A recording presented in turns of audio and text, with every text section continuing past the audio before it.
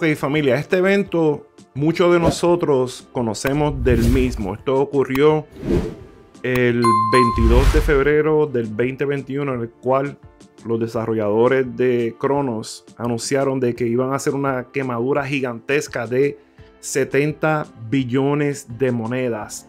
Pero esto no es lo que yo quiero informarles en este video, porque ya nosotros sabemos esto. Mientras yo hacía una investigación, mi gente, me enteré de algo que posiblemente usted no conoce y lo voy a compartir con ustedes en este video. Pero antes, quiero definirle lo que significa y cuál es el propósito de lo que es una quemadura de monedas, mi gente. Pero vuelvo y les repito, tiene que ver el video, mi gente, porque encontré esto que ni yo mismo sabía esto. Y trata sobre quemaduras de Crow. Eh, básicamente de una manera de que posiblemente la mayoría de los inversionistas no conocen y por esa razón estoy haciendo este video. Pero miren, el significado de la quemadura de moneda es simplemente eliminar permanentemente una cantidad de monedas de la circulación. Esto generalmente se hace transfiriendo las monedas hacia una dirección de grabación, es decir, una billetera que nunca va a ser recuperada. Esto a menudo se describe como destruir o quemar monedas. Un proyecto quema sus monedas cuando pretende reducir el suministro general. En otras palabras, crea un evento deflacionario. La motivación suele ser aumentar el valor de las monedas restantes, ya que las monedas tienden a aumentar de precio cada vez que cae la oferta circulante y se vuelven más escasas, mi gente. Y yo decía, yo voy a buscar información en cuanto a la quemadura, porque muchos de ustedes que me preguntan y miren lo que encontré, mi gente. Lo que tenemos que hacer es ir a etherscan.io, ponemos aquí Crow, el símbolo de la moneda que estamos investigando, le damos aquí porque sale automáticamente. Y vamos a ir, quiero, oh, quiero señalar esto rápidamente, tenemos que estar pendiente a la cantidad de holders, aquí se encuentran 229.223 holders. 229.223 holders. Mi gente, esto apenas está comenzando. Cuando lleguemos al millón, 2 millones, 3 millones, oh my god, esto va a elevar el precio de, de Cronos.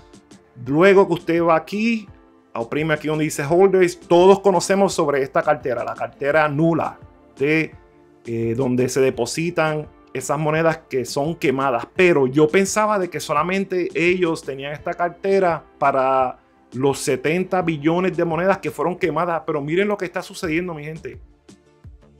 Diariamente se están quemando más monedas. Y miren esto, miren esto. Hace 20 minutos atrás se quemaron 21.400 monedas. Si hacemos la calculación, el cómputo, 21.000 400 monedas de Cronos fueron quemadas, lo multiplicamos por los 40 centavos, que ese es el precio actual de Cronos. 8.560 dólares fueron quemados, mi gente. So, ahora mismo, con esta transacción, se sacaron de circulación 21.400 monedas, que equivale a 8.560 dólares, mi gente. Usted oprime aquí y va a ver la transacción cuando ocurrió, el costo, aquí dice 8.620 dólares, aquí está el costo, y lo que costó el cargo que fue cargado para procesar esta transacción que fue en Ethereum y el costo fue de un dólar con 89 centavos, mi gente. Esto es algo, una noticia muy beneficiosa para todos nosotros y como pueden ver, diariamente o de cada hora se están quemando monedas. Miren aquí, esta transacción de 7172 monedas. Usted oprime aquí. Y aquí va a ver la cantidad que fue quemada, que fue de 2.889 dólares. Y con un cargo por la transacción en Ethereum de 3 dólares con 5 centavos. Esto está buenísimo, mi gente. Poco a poco se están quemando más monedas y aquí ve el balance, eran 70 billones y ahora va por 76 billones de monedas que están fuera de circulación. Y si hacemos esa esa calculación, ese cómputo en dólares equivale que 30 billones de dólares han sido quemados, mi gente. Oh my God. Esto está buenísimo para toda persona que es un inversionista en Cronos. Miren, otra transacción aquí de 8.500 monedas, 7.663 monedas.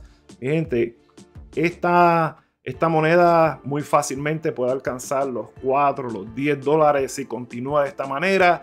Y nos estamos contando de que posiblemente los desarrolladores de Cronos pueden hacer una quemadura futura de, de billones de monedas. Pueden quemar posiblemente 5 billones de monedas más, porque ya conocemos que ellos no tienen ningún tipo de temor para quemar monedas. Mi gente, vamos a darle duro a los números, que les preparé una tabla de Excel. Vamos a darle duro a los números. Ok familia, es justo y razonable de que comparemos a Cronos con Binance. Ya yo coloqué las cifras numéricas, el precio de Cronos es de 40 centavos, las monedas de circulación son de 25 billones, que equivale a un market cap de 10 billones. Si utilizamos su suministro máximo fijo de monedas, que ahora es de 30 billones, este sería el market cap completamente diluido. Sabemos de que Binance alcanzó y registró un market cap máximo de 110 billones de dólares. Y eso es lo que yo estoy haciendo aquí para poder adquirir unos precios futuros. Si Cronos alcanza un market cap de 110 billones de dólares, que muy fácilmente lo va a obtener de aquí a varios años, mi gente, el precio de la moneda va a ser de 4 dólares con 35 centavos. Si usted desea irse un poquito más conservador, aquí están los precios. Si alcanza eh, quitándole o restándole un 25% a este market cap de 110 billones, sería entonces un market cap de 82.5 billones de dólares. Utilizando la moneda de suministro máximo sería un precio de 2 dólares con 73 centavos. Utilizando las monedas en circulación sería un precio de 3 dólares con 27 centavos. Y así sucesivamente, mi gente.